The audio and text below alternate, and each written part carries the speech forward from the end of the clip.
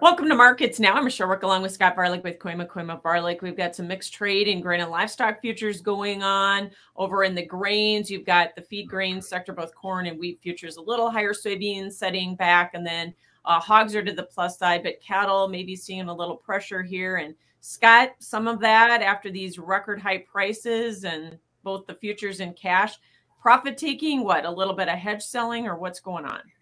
Yeah, we've got a lot to unravel here. It yeah. uh, finally had its blow up, and thanks for having me, by the way. Finally had our, our, our blow up rally, all time highs. Cash took off. Cash rallied $20 in three weeks, which is just uh, something that's never been done before, unless I uh, can't find one that I missed. But I, am pretty sure $20 in three weeks is a, is a quick jump. So we have been harping on it for years, talking about the tight supply and the leverage that the producers are going to have. And and yesterday was the day that that news finally paid off, and what you knew finally happened. And it did feel like a lot of leverage into the uh, producers' hands, and they were able to ask more. We we topped out the market. The highest I heard was some 185. Um, it, there was some 184s. You, you had some lower 180s up to 290 in the meat and the South was able to get some 176, pass some 176, a little bit undecided there, but the North has, has certainly pushed that cash higher. And yesterday, you know, it's a it's a time of year when you can have some of those highs, and you, have got that spring grilling season buying, and and maybe that's when you can put in a high. Once that's happened, hey, market tops when the news is the best. So there's there's plenty of people maybe thinking that, and and chart wise, we have to talk about some charts in the cattle, in my opinion, here, because you've got all of these extra longs carrying on, and you had your third gap higher on some of those charts. Sometimes when they gap higher three times, uh, that can be called an exhaustion gap. And you look at some long term charts, uh, a number that guys have been saying for quite some time is this 175. And you can measure that from the COVID lows down there at 81 up till they gapped uh, in about the mid 120s and measure on top of that, it measures right to 175. So there's plenty of technical signs kind of saying, hey, maybe this thing is, is about right there. So, so what does that mean to the grand scheme of things? I, I think it's like when you're driving your pickup and that check engine light comes on.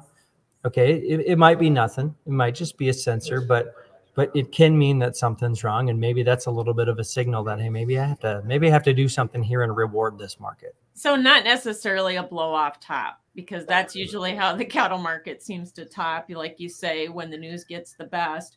I gotta wonder though you know are folks making money at these levels finally? We talk about these record high cash prices and that it's finally your time to get these but are you making money? Yeah, it's uh, it's been tough. Cost of gains have been uh, well over projections when you were buying your feeder calves, and you're hearing, you know, on closeouts, cost of gains that are all over the board versus inside cattle versus where they at. The corn basis stayed so strong in cattle feeding country, so uh, it's been tough. I think the 165 guys, I really wasn't hearing any meat on the bone. Uh, there was negative closeouts coming in at the 165 levels. I'm kind of thinking these last two weeks, uh, this rally from 177 to 185 for the northern guys might actually, you know, it should put some green ink on, and unless you know, there's a few of those horror stories of cost of gains that really got out of line, but there's not a lot of meat on the bone here. And if you're saying, okay, we've been slowly losing money all the way through these tight numbers on this rally, and finally we're there, you don't want to see it give up right now because we're finally maybe going to see just in the last couple weeks that there's a little green ink yet to be seen when these checks roll in and, and the closeouts happen, whether whether they actually made money because there's been some 130 cost of gains, there's been some uh, uh upper one dollars cost of gains, dollar nineties. It's it's kind of all over the board. So um, some of those high cost of gains are really hurting. Not seeing a lot of meat yet until just the last two weeks. Okay. And like we said, maybe this is a healthy correction. Packers are still pretty short, and the futures are already discount to the cash here. So let's talk about next week. Do you think cash trade will continue to be higher? Will the Packers still have to chase this thing? Chase it real hard, like we said, the last three weeks, and now you get your first little correction in the market, and and you already noted it yesterday's trade. You had some of those mid 180s trades, and as soon as the market broke, some of those Packers did pull some bids back. Suddenly, you couldn't quite get what you were getting earlier in the day when the party was happening or the night before. So, I, I think the Packer will probably try to use this to advantage to try to pull that back. And now there's uh, plenty of people on the other end of the phone starting to wonder if maybe I need to be out of some of these longs, or maybe I've got to look at doing some hedges. So, and the Packers are going to slow down their kill this time of year. The calf crop's not quite ready yet. So uh, they're going to be pretty light, and and we're all turning into our pens and looking, saying, okay, what what's close to ready here? I want to try to capitalize on some of this high cash. So so it wouldn't surprise me if they just tried to pull back, uh, okay. slow down the kill, um, offer some prices a little lower, see what they can get just to try to get some of this calf crop ready. Because I, I I think if they made another big dive up to 190, 195, I'd, you're not going to find any more numbers. We're going to continue to fall back on that throughout the year. We know the numbers are tight. We're going to be tight all year. It's going to be even tighter in the fourth quarter. So I was going to say, we're not even into the tightest numbers yet, Scott. That's right. It, it's just going to be something that we're going to continue to focus on throughout the year. Uh, it, it's going to stay tight. Uh, we should stay current. It, it, feels good. So I don't know if corrections are going to be all that long, in my opinion. Um, we've rallied a long ways here, but yeah, we're, we're feeling still good about it. Yeah.